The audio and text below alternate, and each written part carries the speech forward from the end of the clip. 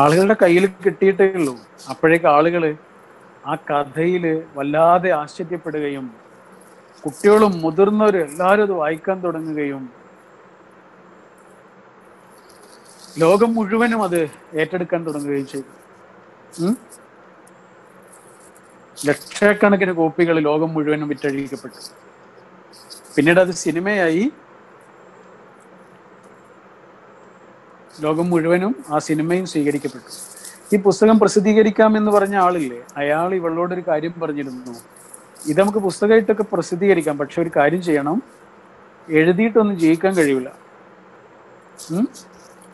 പുസ്തകം എഴുതിയിട്ടൊന്നും ജയിക്കാൻ കഴിയില്ല അതുകൊണ്ട് നല്ലൊരു വരുമാനമുള്ള ജോലി വേറെ കണ്ടെത്തണം എന്ന് പറഞ്ഞിരുന്നു അങ്ങനെ പറഞ്ഞിരുന്നു കേട്ടോ.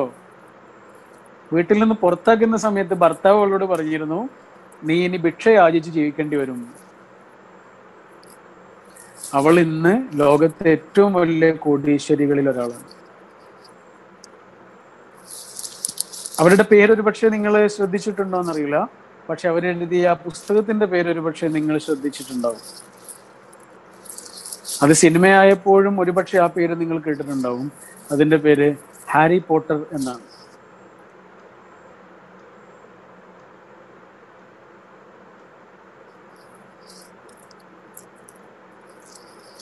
ഏറ്റവും ലോകത്ത് കോടീശ് എന്താ പറയാ സമ്പന്നരായ ആളുകളുടെ കൂട്ടത്തിൽ ഒരാളായിരുന്നു ജെ കെ റോളിംഗ് ഈ പറഞ്ഞ ആളാട്ടോ ജെ കെ റോളിംഗ് പക്ഷെ അവരിപ്പോ ആ കോടീശ്വരന്മാരുടെ പട്ടികയിലില്ല. അതെന്തുകൊണ്ടാണെന്നറിയോ? ഫോബസ് മാഗസിൻ പ്രസിദ്ധീകരിച്ച കോടീശ്വരന്മാരായ അല്ലെങ്കിൽ കോടീശ്വരികളായ. കോടീശ്വരി എന്നും പറയല്ലോ അല്ലേ കോടീശ്വരൻ എന്ന് മാത്രം പറയണെന്തിനാ കോടീശ്വരി എന്ന് പറഞ്ഞൂടെ ആ കോടീശ്വരികളുടെ കൂട്ടത്തിൽ ഇപ്പൊ ജെ കെ റോളിംഗ് ഇല്ല. അതെന്തുകൊണ്ടാണെന്നറിയോ? അതിനൊരു കാരണമുണ്ട്. അവരുടെ സമ്പത്തിന്റെ മഹാഭൂരിപക്ഷം വരുന്ന പണവും അവർ ചെയ്യുന്നത് എന്താണെന്നറിയോ? ഒറ്റപ്പെട്ടു പോയ സ്ത്രീകൾക്കും കുട്ടികൾക്കും വേണ്ടിയിട്ട് ചെലവഴിച്ചുകൊണ്ടിരിക്കുകയാണ്. ലോകം മുഴുവനും. അവരുടെ വലിയൊരു ട്രസ്റ്റ് ഉണ്ട്. ആ ട്രസ്റ്റിന്റെ കീഴിൽ ഒറ്റപ്പെട്ട് കഴിയുന്ന മനുഷ്യരെ സഹായിക്കാൻ വേണ്ടിയിട്ട് ചെലവഴിച്ചുകൊണ്ടിരിക്കുക. കാരണം ഒറ്റപ്പെടൽ എന്താണ് എന്ന് അവർക്ക് നന്നായിട്ട് അറിയാം. അതുകൊണ്ട് സ്വന്തം സമ്പത്ത് അങ്ങനെ ചെലവഴിച്ച് ചെലവഴിച്ച് ആ പട്ടികയിൽ നിന്ന് അവർ പുറത്തായി. അങ്ങനെ പുറത്താകണം എന്നവർ ആഗ്രഹിച്ചിരുന്നു. അറിയോ? എനിക്ക് ആ പട്ടികയിൽ ഇടം വേണ്ട എന്നാണ് അവർ തീരുമാനിച്ചത്. അങ്ങനെ ആ പട്ടികയിൽ നിന്ന് അവർ പുറത്തായി. പുറത്തായതാണ് അവർക്ക് ഏറ്റവും സന്തോഷമുള്ള കാര്യം.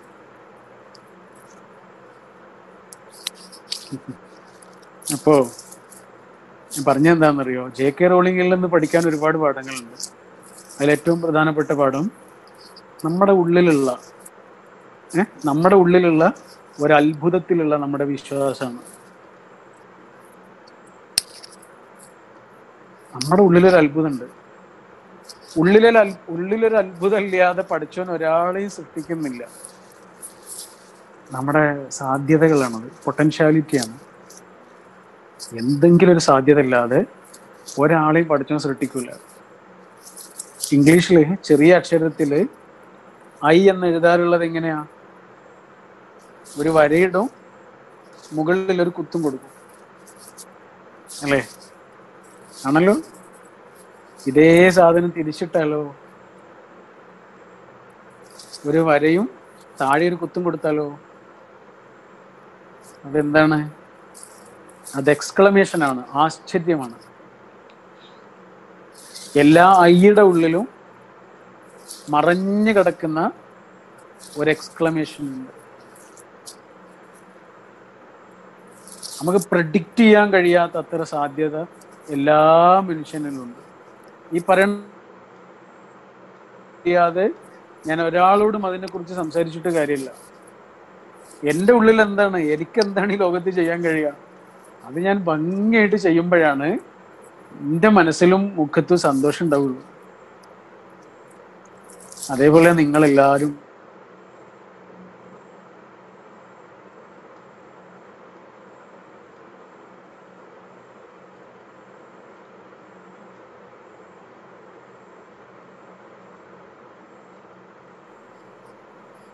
മനുഷ്യനായിരിക്കുന്നതിൽ ഒരർത്ഥം ഉണ്ടാവുള്ളൂ ഇത്രയുമാണ് എനിക്ക് ഇങ്ങനെ മനസ്സിൽ പറയണമെന്ന് തോന്നിയത്.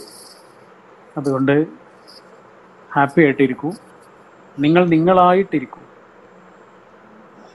സന്തോഷമായിട്ടിരിക്കൂ താങ്ക് യു സാറേ ഞാൻ അമീൻ. ആ. തീർച്ചയായും ഒരുപാട് സന്തോഷമുണ്ട്. ഒരിക്കൽ കൂടി സാറോടുള്ള സ്നേഹം കടപ്പാട് അറിയിക്കുന്നു. ഈ ഒരു പ്ലാറ്റ്ഫോമിൽ ഏറ്റവും ഭംഗിയായിട്ട് സാറ് കാര്യങ്ങൾ അവതരിപ്പിക്കുന്നു എന്നുള്ളതിൽ അതിശയമില്ല. കാരണം അതെല്ലാവരും അനുഭവിച്ചുകൊണ്ടിരിക്കുന്നു അനുഭവിച്ചുകൊണ്ടിരിക്കുന്നതാണ്. അതുകൊണ്ട് എല്ലാവിധ സ്നേഹവും സന്തോഷിച്ചു അറിയിക്കും ഷാഫി സർ? ഷാഫി സാറ് പിന്നെ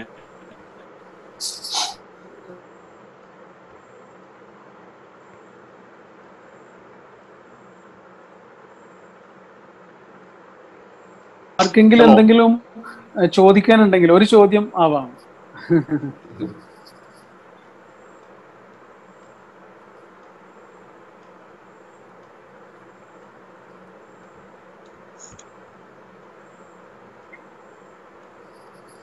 ഷബിന ആ ഷബിന പറയൂ.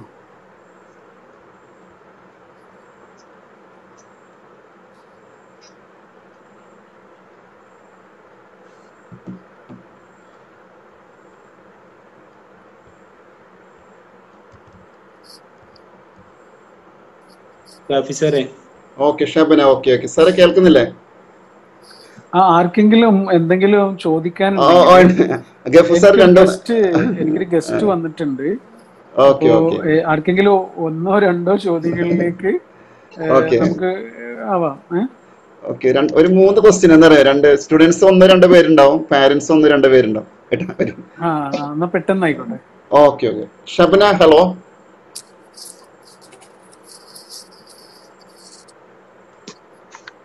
hello ഒന്ന് ഹാൻഡ് ഒന്ന് റൈസ് ചെയ്യൊന്ന്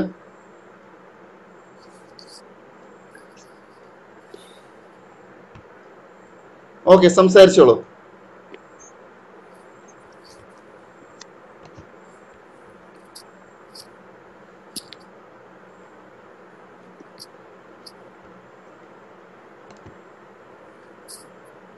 Hello Shabana hello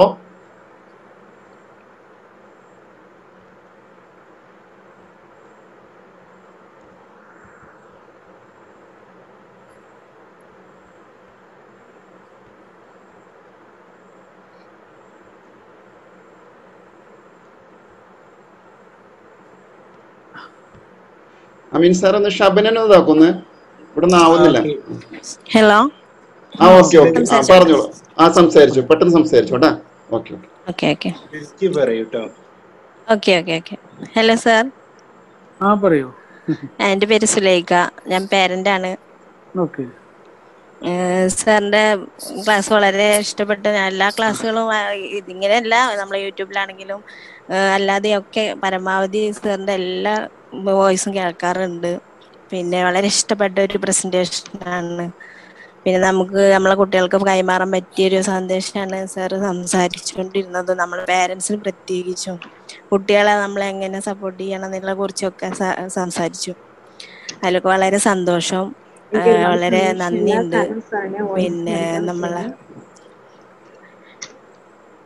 പിന്നെ നമ്മളെ കാര്യങ്ങൾ എന്ന് പറയുന്നത് സർ ഞാൻ സംസാരിച്ചോട്ടെ? വേറെ ആരെങ്കിലും സംസാരിക്കുന്നുണ്ടോ? ഇല്ല ഇല്ല ഇല്ല ഷബന വന്നിട്ടുണ്ട് കുഴപ്പമില്ല.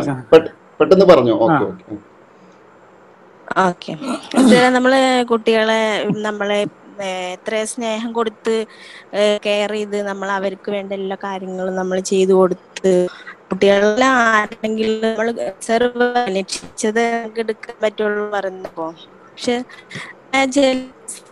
നമ്മൾ നിയമിക്കുന്നത് കൊടുക്കുന്നതൊന്നും തിരിച്ചു കിട്ടാത്ത അവസ്ഥ ആത്മാർത്ഥമായിട്ടാണെങ്കിലും നമ്മൾ ചെയ്യുന്ന എന്ത് കാര്യങ്ങളാണ്? എന്ത് ചില സമയങ്ങളിൽ തിരിച്ചറിയ വളരെ വേണ്ട സിറ്റുവേഷൻ ഒക്കെ ഉപയോഗിക്കാറുണ്ട്. അതിനെ കുറിച്ച് എന്താ ഉം.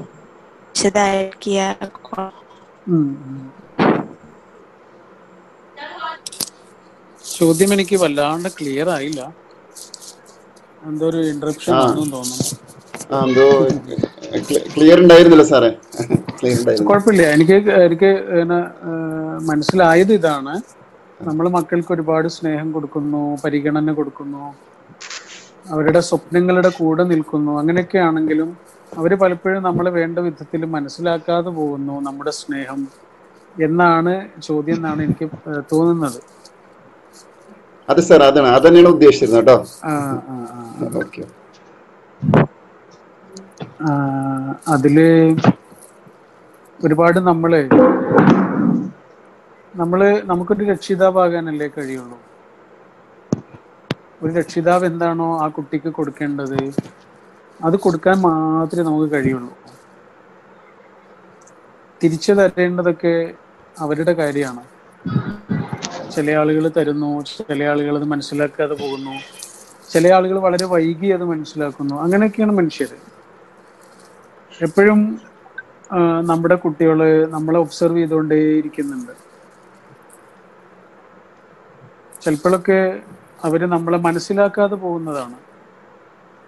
അത് നമ്മളോടുള്ള ദേഷ്യം കൊണ്ടോ അല്ലെങ്കിൽ നമ്മുടെ സ്നേഹം മതിയാകാഞ്ഞിട്ടോ ഒന്നുമല്ല.